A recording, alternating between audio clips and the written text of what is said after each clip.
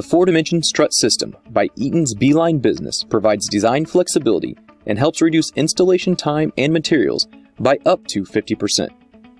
The 4Dimension strut offers increased flexibility with the new dovetail features on three sides of the 2 inch by 2 inch 4D22 channel and the bottom side of the 2 inch by 1 inch 4D21 channel. With this new option, installers can move from a double trapeze design to a single layer design with cable tray, pipe, or conduit on the top of the channel and pipe or conduit on the bottom of the channel to help save overall space. To learn more, visit www.cooperbline.com forward slash 4Dimension.